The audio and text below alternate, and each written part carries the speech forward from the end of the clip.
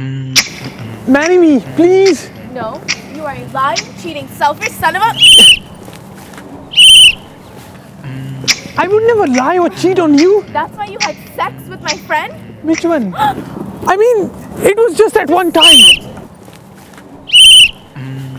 Uh, you know, after we are married and We are. We are not getting married. I mean, after I have a stable job. You know, my father thinks of you as a useless, good for nothing idiot. Listen, your father is a bloody idiot. Move!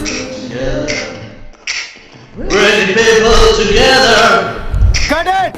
You look so beautiful nowadays. Take, okay? There are some weight or something. Listen, no matter what you do, my answer is just gonna be a no. Listen, Arti, please marry me, please. Cue sound. Hold on. Bring people together.